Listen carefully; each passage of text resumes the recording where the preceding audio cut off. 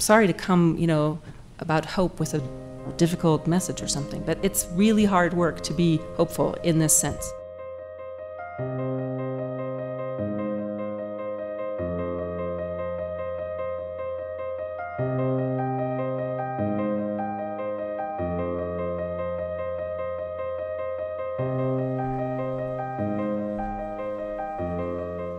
Uh, thank you all for the invitation and for being here. Really welcome this opportunity and, and welcome you all to Boulder, to the rainy Boulder that we have. Um, and I want to just appreciate that we have this bridge building theme here. Um, I really love that. I feel like a, a, bridge builder and walker myself in my life. As you just heard, I've been in all kinds of uh, strange places, uh, from the most scholarly to the very applied. Um, and what I want to share with you this morning actually uh, comes out of that intersection of going back and forth between the world of practice and scholarship. And uh, one of the big themes that uh, keeps coming up in my work increasingly, you've heard I mostly work on climate change, and you know, of course, here we have a much broader set of issues. But whether you're interested in I don't know, from fracking to food security to, you know, species extinctions to the garbage patch in the Pacific Ocean, you all will have probably encountered the challenge of how to stay hopeful. And all our audiences have that particular challenge. So I want to um, think with you together um, about this topic of hope um, and how that in and of itself is a kind of a bridge, but not an easy one, not, not one that gives you a lot of things to hold on to. So I want to uh, do that and and just see if you know this is work that is just sort of uh, emerging um, in terms of uh, having written about it. Not yet. I am uh, right now writing um, with Carol Berzonsky, uh, who's a graduate student in psychology. Uh, about this as we speak. Um, but really, as I said, uh, it's come out of the many, many conversations I've had with people who I train or people who I work with in the world of, you know, practice, policy, management, um, who are just struggling with how to keep their their hope up in in this particular point in time. So raises the question, you know, what are we talking about? Why do we even need hope? um, and particularly maybe at this time. Is there something, um, you know, if, we have enough hope, um, then maybe even if it's a difficult time, maybe we're fine. But so is there actually a problem with hope, in particular in this country? And I invite you um, to think about that wherever you come from. And how do we think about hope? What is that? Um, and the, I want to spend most of my time really about how do we foster it within ourselves and within other people with whom we might communicate in one way or another. Um, and then just simply close with a, which I really want to leave more as a question than anything, is what is it that we hope for? So this is, you know, roughly uh, some questions one might ask about this topic, but it's also um, the outline for my talk. So let me just begin here with the question of why bother? Why do we need hope? You might think, duh.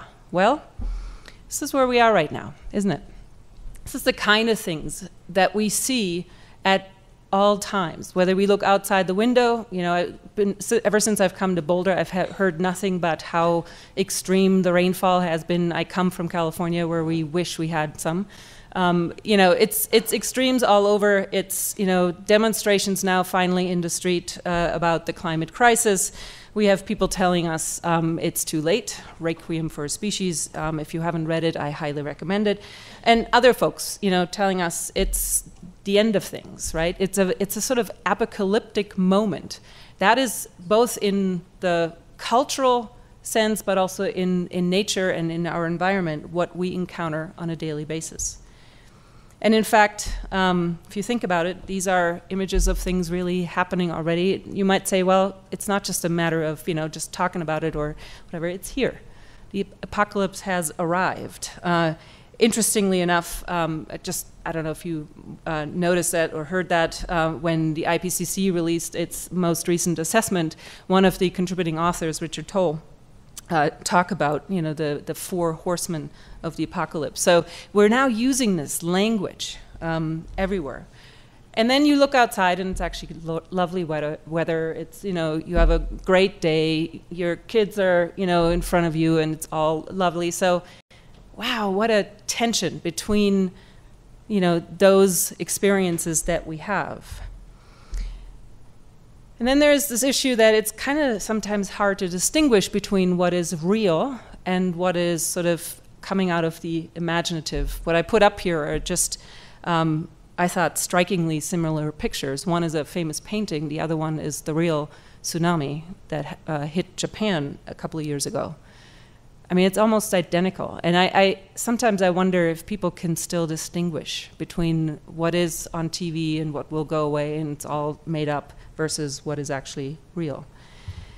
But those who know the most about the sciences um, are actually quite um, honest about how difficult they find it. I don't know if you've noticed in recent, uh, just the last couple years, there have been initiatives um, where scientists in particular speak about their emotional responses to whatever topics they study. I find that a really pheno- interesting phenomenon. We did not get that you know, that scientists would speak about their emotions. I mean, that was, it's like taboo. we don't talk about that, right? It is, we just study things and we don't have any emotion about it. And then the rest of it is very private. Well, now apparently, those who know most about it are coming forward and say, you know, this does touch me. Um, and in fact, I just put up three pictures here, a couple of friends that um, who um, have spoken to me directly um, about it. Diana Liverman, some of you may know, a geographer who said sometimes she would just love to shut the office and just go back to work and not think about it, not feel it, what she's actually working on.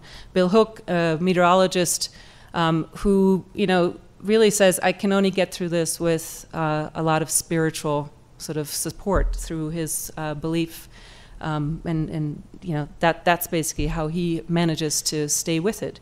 Uh, Joni Kleypas, who is a, a research scientist here uh, at NCAR, works on coral reefs, um, has been deeply, deeply affected by what she studies and has shared that with me. And I write about it in, in a chapter, book chapter uh, called Getting Real About It. I won't say that in public, what she said, but um, it's uh, worth reading. She had a very visceral response to that. Anyway, so I just leave it at that.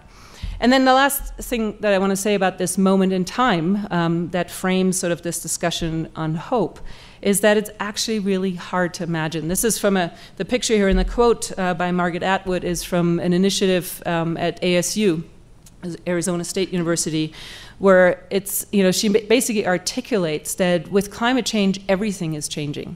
And and some of it is not actually climate related, but of course they all interact, and it's incredibly difficult to imagine what that would look like. Um, when I found this particular quote, I was reminded of this poem um, by Jane Hirshfield. Maybe some of you know it. She says, When this ship first came to Australia, Cook wrote, the natives continued fishing without looking up, unable, it seems, to fear what was too large to be comprehended.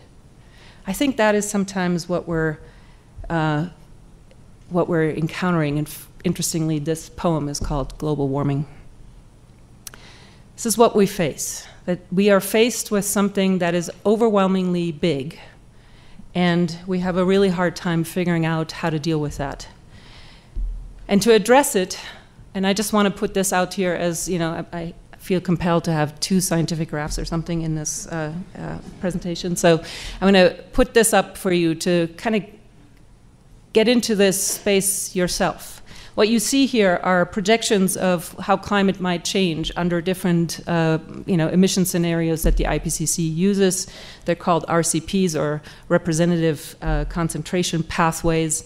Um, and basically what you see here is, you know, if we were to actually stick to this sort of um, consensus, not quite consensus anymore, uh, idea of we should keep the warming to two degrees or less by the uh, over pre-industrial levels by the end of this century, um, we ought to go on this uh, lowest scenario that you see here in blue at the bottom. What's really interesting for me about this is that, you know, so it's 2015, and what you see here is that this particular curve starts bending down, peaking at 2020, and then going down. Now, what do we need to achieve? I think that's important to grasp. What the IPCC in its most recent assessment said is if we want to have a greater than 66% chance, a better than two out of three chance of hitting that particular target of staying around two degrees, then we need to aim for concentrations in the atmosphere of all greenhouse gases combined of 450 parts per million. Now, to get there, it would mean that by the middle of the century, we have reduced our global emissions by 40 to 70 percent. And by the end of the century, we're near zero or below. What that means is to basically suck it out of the atmosphere. 40 to 70 in the next 30 years, and then to nothing by the end of the century. That challenge is really, really huge. And I want to put this to you in another term, and that is this one. What do we actually know right now about what countries are willing to do? What this here shows, um, again, these green and yellow uh, scenarios at the bottom, that represents those staying below, below two degrees. That is the pathway um, that we hopefully ought to go on. Um, what we currently are on with the kinds of things that are already on the books, not like, you know, doing nothing. We obviously are already doing something, but what we're on right now is that blue one um, that you see there um, in the upper middle or whatever. Um, and if you look at what are the pledges that are now coming in, slowly trickling in for the Paris conference uh, in December, um, that is the red line. And if we were to all ignore that and you know uh, develop all the tar sands, use all the dirty coal, all the dirty fuels, then we would end up with the gray scenario. So that's basically what you know the, what the scenarios are. Um, so we're on the blue one. That gets us to about 3.6 to 4.2 degrees centigrade. And I just want to sort of uh, tell you about a British um, climatologist by the name of Kevin Anderson, who said around four degrees is when we are at a situation when a coherent, functional civilization is no longer thinkable. It just doesn't work anymore. We don't have the food, we don't have the transportation, we don't have the energy to get us to be a coherent society, civilization. But that's the one we're on right now. And where we need to go is the green or the yellow one. So that's the challenge. Some of you probably have heard this particular uh, TED Talk. If you haven't, I highly recommend it by David Roberts, who used to be until recently a Grist blogger, who gave a, a great talk um, to make this very clear and, and convincing, if you will. Um, and at, near the end of his talk, he said, you know, this is where we're, where we're at right now. We're stuck between the impossible and the unthinkable. We can't find our way, seemingly, to the yellow green scenarios. We're stuck on the one that is bound to destroy us. And so he didn't actually end his talk there. I just want to make clear that you know. It ended on this note. And so for the rest of your life, your job is to make the impossible possible. That's the challenge that he put before us. And that is, that's, if you will, the essence of how to find hope how do you find hope in that moment when you're stuck between the impossible and the unthinkable? And that's what you need to do. How do you keep going? When things will, even if we do everything we possibly can, it won't be a pretty world. So, how do you keep going? Well, and then you just add, you know, more species extinctions or whatever the next bad news is that you that you find. So this is this is the barrage that people find themselves in. So why do we need hope? I think it's basically to keep going in the face of this. Um, most of us think of it just in that term, in the sense of we just need to cope, we need to keep going, we need to do our best. I think hope asks us actually to do that impossible, to do make the impossible possible. Um, and in some ways, I think that is living a life of integrity, something that is far, we, we all need to rise to a higher level um, than any of us have risen to date. Um, and I think ultimately, in the face of this kind of danger that we're facing, um, it is a, a call, a desire to affirm hope and to affirm life in, uh, in the face of death or despite death. So, do we have that kind of hope? Let's see. I'm going to actually draw on something that Ed may be talking about. Um, so Ed Maibach is here. He has been working with Tony Leiserowitz, as you many of you know, on the Six Americas uh, audience segmentation studies, tracking how Americans feel and think about uh, global warming for a long time. Um, I'm going to use uh, about three slides from, from their work um, just to give you a sense of where the American public is and then broaden that out to, to beyond that. So this is one of the, uh, the slides that they have produced um, over time, looking at how much do Americans actually worry about this topic. I mean, you know, the hope, as you, as I just said, you need to somehow recognize how big the problem is, and then you need to see whether or not you have it in you to work in the face of that. So this is what um, we know. Um, about half or so of the American public worries but not particularly strongly. It's, as we know, not top of mind uh, material for many. But, you know, there is some recognition of danger. Interestingly, most of that hope actually, or most of that worry, happens on uh, the left hand side of the, the segments. What that means is the most alarmed, the most concerned about this also obviously have the greatest worry. So this isn't particularly su surprising, um, but you get an idea that this is not evenly spread across the population, this worry. Now, this is just the worry side. Now, as we know, um, this is, you know, a very old finding, not particular to climate change, but it is certainly um, one that we're all familiar with. If you are faced with a very great danger and you have no effective response to deal with it, it is practically unbearable, right? So that is the thing, the com combination of big danger with no effective response that makes us go numb, that makes us go apathetic, helpless, and despairing. So, how do Americans think about the response side? What's interesting here, I want to point this out. There's, you know, various response options. Again, here on the bottom, you see the, the various audience segments, the, the six Americas. And um, what they distinguish here are six, five, five answers. Global warming isn't happening. Humans can't reduce global warming even if it is happening. Uh, humans could reduce it, but it's uh, not clear whether they're willing to change. Um, and then the, the third one is humans could reduce global warming, but it's unclear um, whether we will do what's needed. And the last one uh, is humans can reduce global warming, and we're going to do so successfully. I sort of think of the last one as the you know die-hard optimists. Um, the ones on the top there, global warming isn't happening. Um, that's the group that doesn't even think there is a problem, so why bother? But the ones in the middle, that to me is the interesting segment. So you have humans can't reduce it. To me, that feels fatalistic. Um, you know, it's people who just don't think there's anything to do. Um, we could do it, but not sure um, humans are willing, sort of, you know, almost cynical.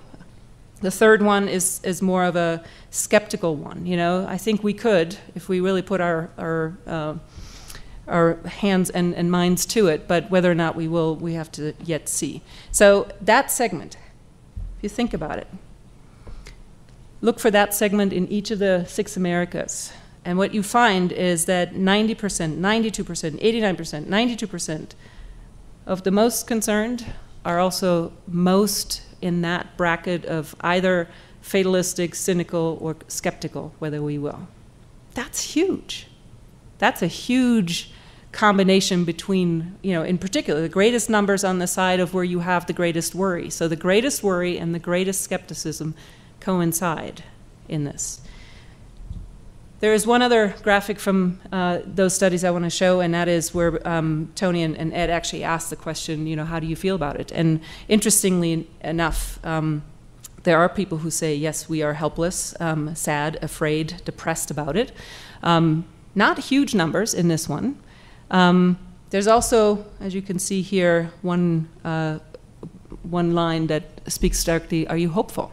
So there's almost a, a toss up between the people who you know actually have the experience of being hopeful, um, maybe two out of ten, uh, two, two out of five, sorry, um, and and those who feel helpless, or you know maybe a, a smaller amount who are depressed about it. But it's an interesting finding, and I think it'd be worth the con conversation. What's the difference between you know these numbers that I just showed you before and those when people um, are explicitly asked about their emotions? My suspicion is that much of this hopelessness actually happens uh, at a not quite conscious level, except when people experience it. And we have these kinds of experiences, not just from my little anecdotes of people coming to me increasingly in my in my trainings, um, saying, you know, first we wanted to know how to communicate the science, then we wanted to know how to deal with the skeptics, now we want to know how to deal with hopelessness. This is literally in my surveys that I do when I ask people, you know, what do you want out of this training? This is how the sequence has gone. So that's an anecdotal, if you will, piece of evidence. But we have now qualitative studies from all over the world. I recently reviewed that, about 75 studies uh, in a paper in WIREs Climate Change. And the sense of hopelessness that comes out of these qualitative studies is tangible and, and very real uh, in these. And I just showed three examples here from this is from Australia, where suicide rates by farmers uh, was considerably higher. I show you a picture of Louisiana um, that is sinking into the ocean, where lots of people are losing their ancestral homes, and this is, of course, true in the Arctic. Um, and there are studies from all over the world. It is actually more a matter of where there are researchers studying this than about you know where exactly it is. It is literally in these 75 studies I reviewed. Um, it, that's all over. And in fact, the people who were uh, most hopeless in some ways, uh, interviewed by Tony's students uh, at the climate march in New York, um, you know, when they were asked sort of to, what do you think about this? Uh, they, their first responses were, well, it's catastrophe. In a nutshell, that's basically at the end of the world as we know it. So there is something that is that is you know happening in people that may not be fully captured in the survey questions or in uh, when you ask uh, you know people consciously about it and it is very much there. So then let me ask the question and turn to this what do we actually mean by hope? And i have to say um, having recently after you know having encountered um, what people always ask me like how do we keep up hope? I went to the literature and i find the scholarship pretty thin it's not that there's not something there. I was quite thrilled that, for example, in psychology, there's something called hope theory. My goodness, who would have thunk? Um, so, but this is kind of what the psychologists say about it. It's an attitude, it's a way to maintain motivation, it's a skill, it's a mechanism, it's an attribute, it's a force. Interesting that we can't apparently agree. It's, you know, it's not just a feeling or something, it's, it's quite uh, a cognitive and, and skill based sort of notion of it. Um, Health and, and, medical psychology in particular has uh, studied this quite a bit, and people have literally found that um, when you have hope, it makes a difference to how well you heal, how healthy you are, how um, your sense of well being. So, very strongly a subjective factor in, in helping um, maintain your, your well being. Uh, who would have thunk? But economics thinks about it too. And they think of it as a re result. It's a result of empowerment. And then you go into the humanities, and actually, I find those the most interesting. Um, the philosophers think of it as a meta narrative, as a story that promises a better future. Um, people who are in religious studies think of it as a, either prerequisite or a byproduct of spiritual attainment. And in Greek mythology, I think that's the most interesting one. Um, it's an extension of suffering. Really interesting to think about that one. Anyway, so I find this a helpful start, and you will see this again later. I find it a little weak. So, more recently, I've come across something that I think gets closer to what I think um, is sort of what we need to think about. And uh, this gentleman, Per Espen Stoknes, um, I think a, a Swedish um, uh, uh, gentleman, he came up with four varieties hope. And the first one that he sort of described is what he called passive optimism or Pollyanna hope. Basically, people who think, ah, it's going to be fine, don't worry about it, that kind of flavor, okay? Then there are the people who are more actively optimistic, and he called them the uh, called this the heroic hope. People who say, you know, it's going to be okay, but we're going to work hard and we're going to put all our weight behind it. So people who at least think they need to do something about this to get there. And then he goes into an interesting um, variation on the theme. You know, much of what I showed you earlier in the, uh, in the scientific uh, literature was sort of outcome oriented. And what he describes here now is people who are actually quite skeptical about good outcome. But in this case here, um, passive skepticism, as he calls it, or stoic hope, um, people who might think, you know, it's going to get bad, but we're going to make it through. That, do, you all know these people? I, yeah, I, I think he's pretty much onto something. Of course, the last one is um, this is not hard to imagine. So there's also active uh, skepticism, what he called grounded hope, and that is people who say, you know, there is absolutely no guarantee of outcome, and I'm going to do my darnest to make this as good an outcome as we can make it. So people who are fully facing the realities that we're in and still work every day, um, and that gets them out of the bed. Not the outcome, but basically the motivation to do their best, to be their best in the face of this. So hope in a dark time in my mind then is not just sort of this wishful thinking the, the, or a way to keep just our good spirits up, you know, or to, to find quick and easy solution. But I think the moment that we're in, and I personally I think this is the most hopeful thing about having a discourse on hope, is that the fact that we're asking that is a matter of there's a yearning that's that's growing in society. There is in the in this sort of cultural moment that I described in the beginning, there is this moment now of inquiry. We ask for hope. We look for what can we do? How can we conduct ourselves uh, in the face of grave danger? So it's really much more grounded, and and that is probably the only hope that will get us through. But now think back to my opening picture of this, um, the, the bridge that you saw there, the longest teak bridge in the world. Who would have known in Myanmar, U Bein? Um, it has no railing. This is not easy work. This is hard work. So sorry to come, you know, about hope with a, I don't know, difficult message or something, but it's really hard work to be hopeful in this sense. So how do we do this?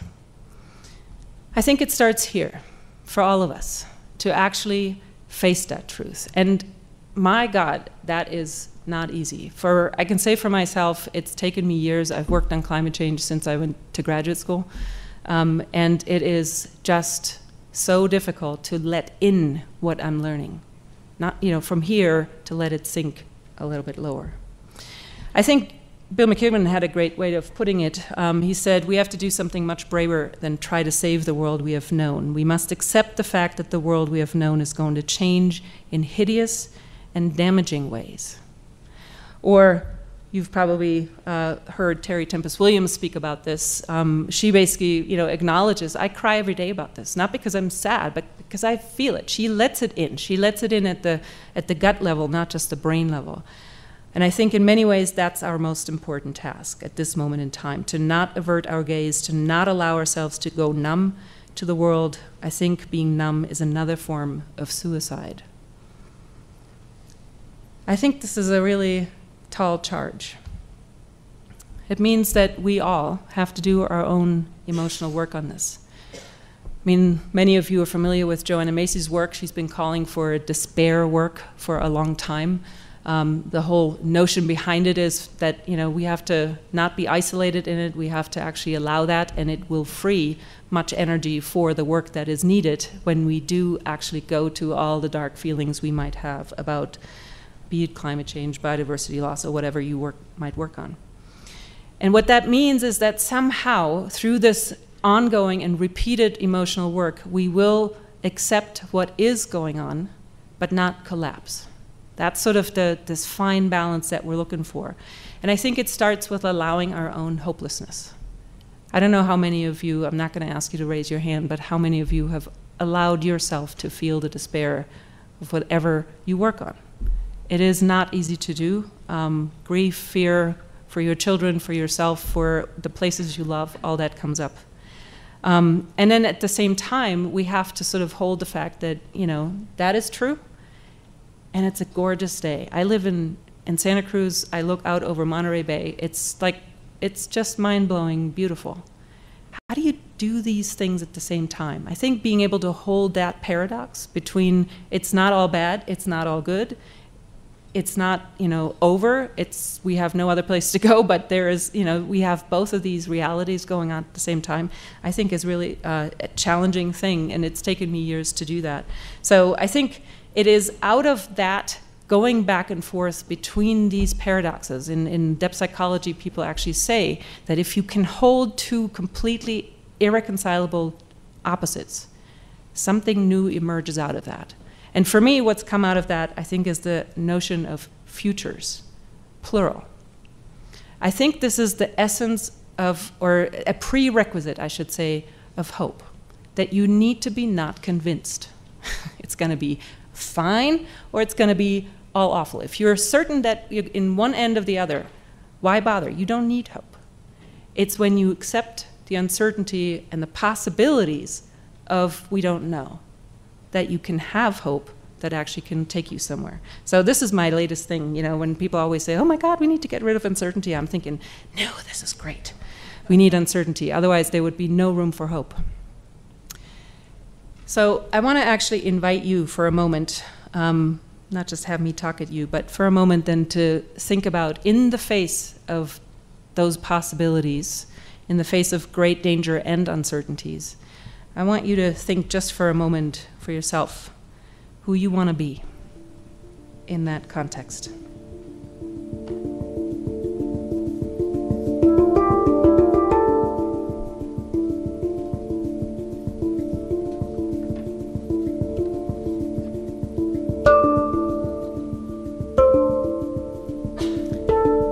Does that call you?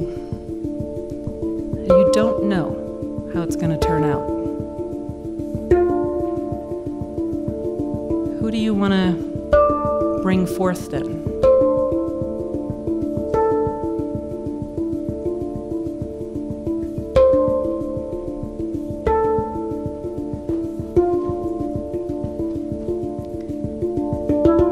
What is your highest self? What is your vision for yourself? Who is called to answer this call?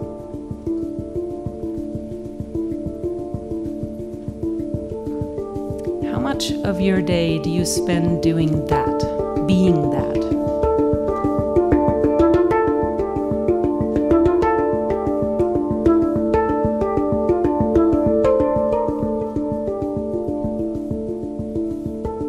it alone?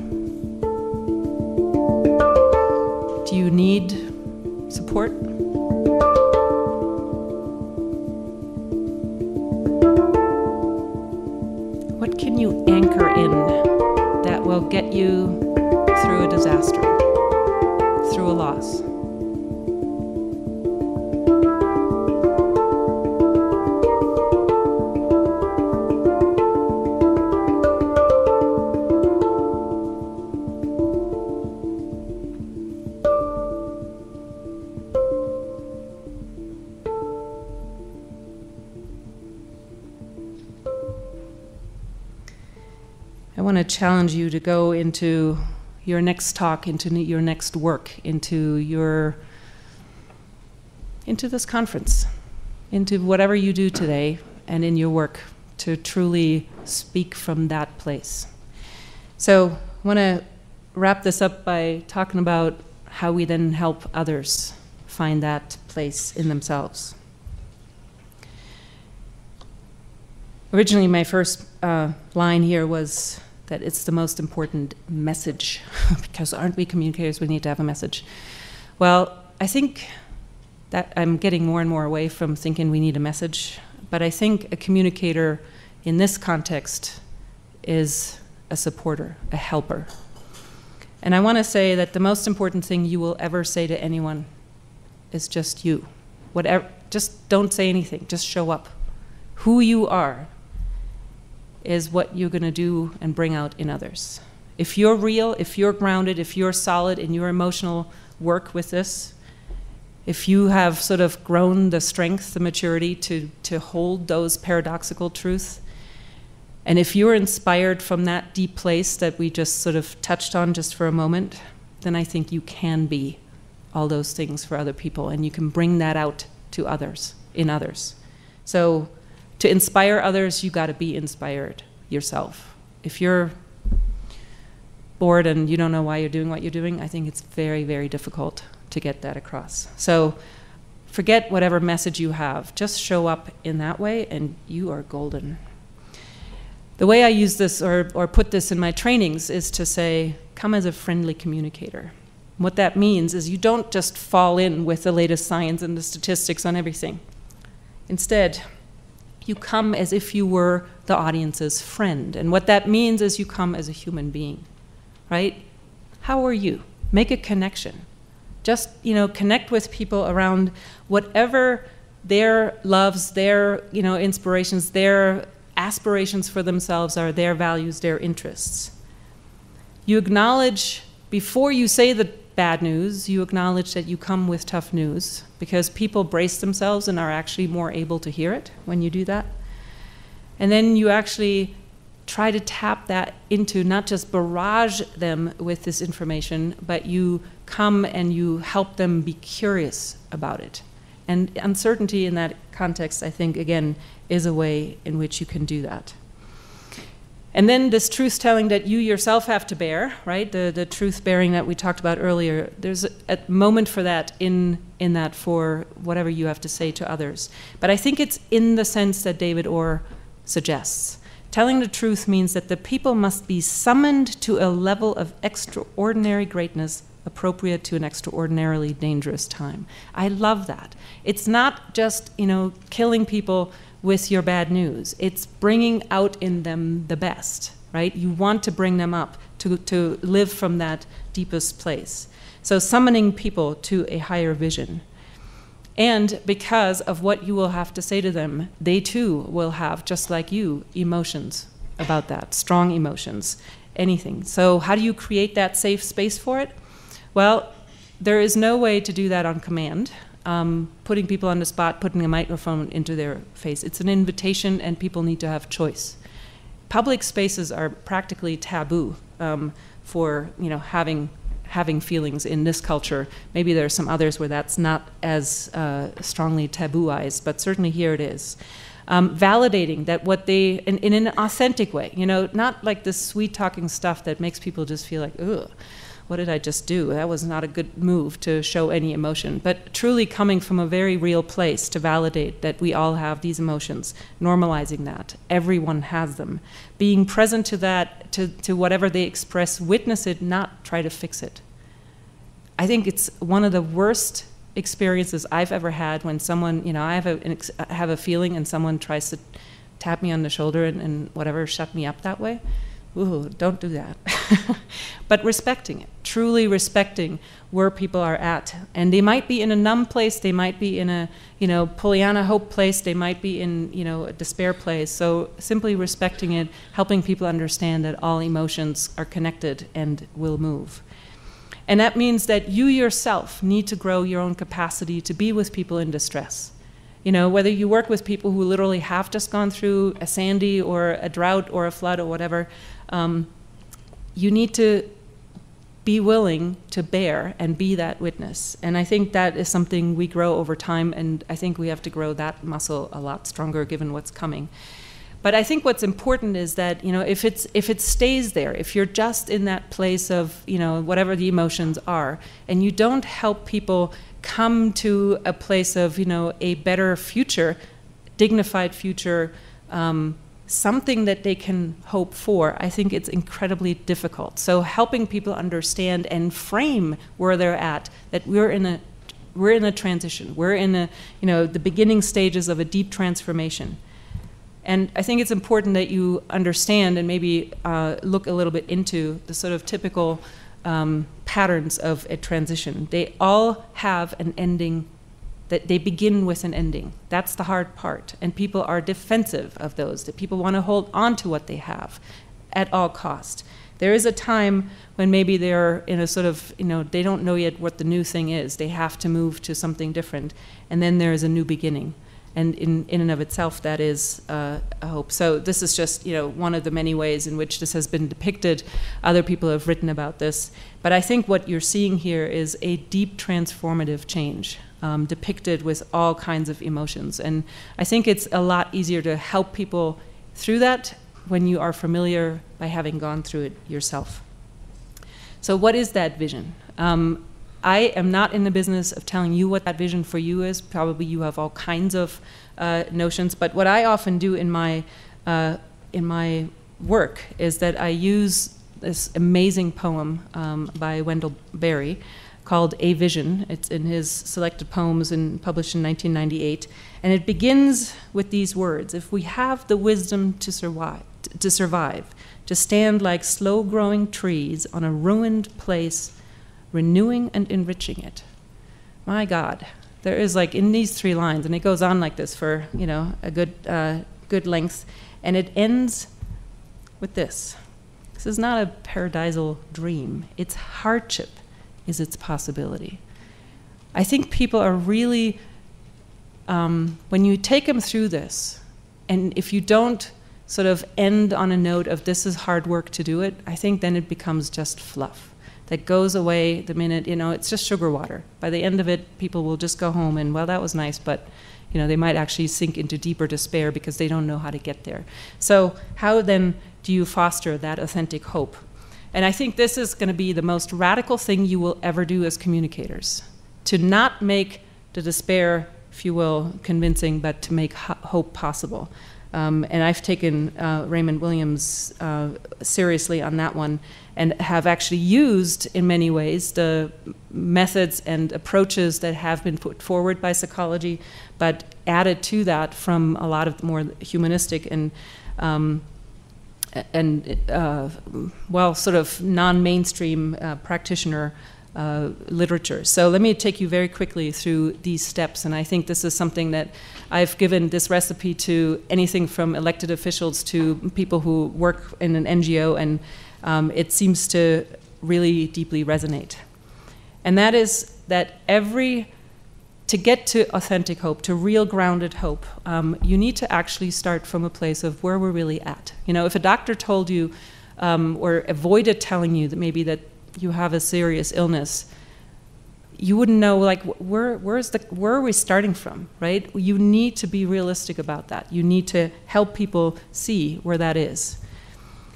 But you can't just stay there. There needs to be a worthwhile outcome. Often you know i like i said i engage people in helping to vision that what that is for them. You know a, doctor might say okay so you have cancer. You can be well again or you can die without pain right? It's it, it doesn't have to end in some glorious sort of you know it's all going to be hunky-dory. The point is to have a realistic outcome uh, pointed for that is worthwhile to the audience that you're speaking with and then how do we get there? The notion of a path. How do we get there? Um, what are the things that need to be done? What do we ha- what do we do when there are setbacks? Because they inevitably will happen. There will be many many climate disasters. Many species will get lost before anything gets better. What do we do in those instances? You know if a patient doesn't know what you do when the whatever the chemo doesn't work what's the next step? It's really they will just you know then give up at that moment when something goes wrong what can i do what is a meaningful contribution on that path to getting along that. Um, and I think this is where I deviate from sort of mainstream cognitive psychology, is where you add something that taps into that deepest, deepest calling, whatever, you know, the thing we just just touched on uh, very lightly in, in previously. So, what is that highest self that people can bring out of themselves to bring to that task? And last but not least is that a sense that we're doing this together. If people don't understand what you will do, you know, then gosh, I'm going to be alone in this. Too hard to bear. Doing that together is a whole other proposition. I will be there. I will accompany you from here to wherever we can go. So, very important to doing that together.